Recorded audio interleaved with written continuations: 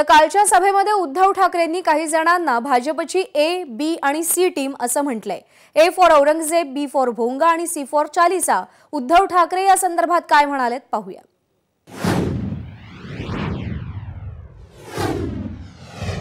तिकडे तो ओवेसी गेला आणि त्या औरंगजेबाच्या थडग्यावरती डोकं टेकून आला. संजय तुम्ही म्हणाले ते बरोबर आहे. हे जे काय चाललंय ना यांची A team B team C team D team कोणा कोणाला तरी औरंगजेबाच्या थडग्यावर पाठवायचं कोणाच्या हातामध्ये भोंगा द्यायचा कोणाच्या हातामध्ये हनुमान चालिसा द्यायचा आणि मजा बघत बसायची. म्हणजे काय कारवाई झाली तर त्यांच्यावरती होणार आम्ही बोंबल्याला मोकळे. मग आम्ही जाणार आणि टॉमॅटो सॉस लावून पत्रकार परिषद घेणार.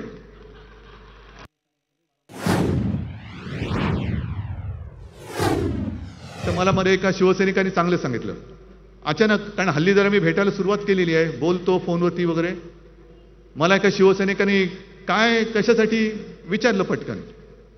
साहेब तुम्ही तो लगेरो मुन्नाभाई पाहिलात का? म्हटलं संबंध काय लगेरो मुन्नाबाईचा म्हटलं थोडासा पाहिला. का रे? अहो त्याच्यात नाही का त्या संजय दत्तला गांधीजी दिसतात गांधीजी बोलतात. महागांधीगिरी गांधीगिरी करायला लागतो. म्हटलं मग? नाही तशी एक केस आहे आपल्याकडे म्हणे. म्हटलं कोणती केस? अहो ती नाही का? ज्याला स्वतःला बाळासाहेब झाल्यासारखं वाटतं? शाल घेऊन फिरतात म्हणे हल्ली. मग कधी मराठीच्या नादाला लागतात कधी हिंदुत्वाच्या नादाला लागतात.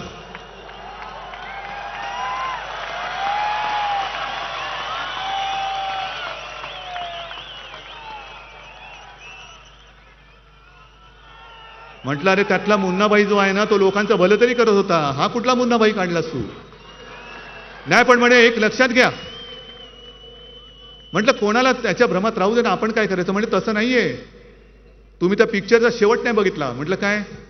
शेवटी त्या संजय दत्तला कळतं की चला आपण काही भेजे मी केमिकल लोचा होईल आहे. तरी केमिकल लोचाची केस आहे. हा हा पिक्चर सत्यावरती आधारित आहे म्हणजे सत्य घटनेवरती आधारित आहे. ते असे मुन्नाबाई फिरतायत फिरू द्या.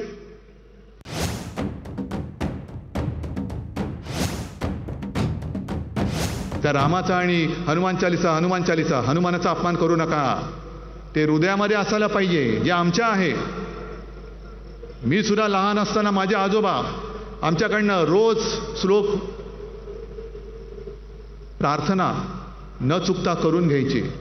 ती प्रार्थना मला सुद्धा येते. अगदी अर्जुनाने केलेलं दुर्गा स्तोत्र ते सुद्धा आज मला पाठ आहे. पण ते नुसतं पाठ करून काय उपयोग आहे?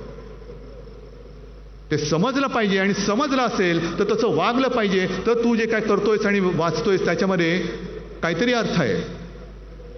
आणि हेच तर आपलं हिंदुत्व आहे. मला तुम्हाला एवढंच सांगायचं आहे की उगाच भलत्या सलत्या कारणं जी काही येत आहेत विचकून जायचं कारण नाही तसे तुम्ही नाहीच. मातोश्रीवरती कोणीतरी एकाने यायचा प्रयत्न केला होता ती आमची अंगाराजी कशी अंगारासारखी भडकली कुठल्या कुठे पळून गेले.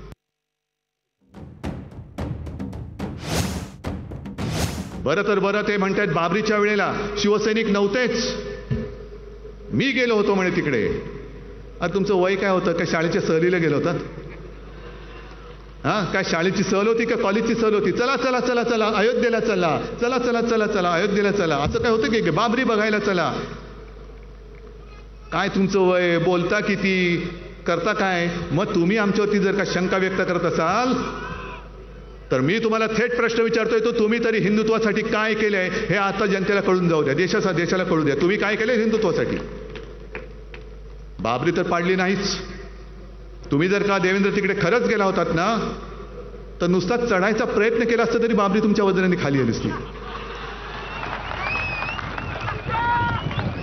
हे लोकांना श्रमच करावे लागले नसते.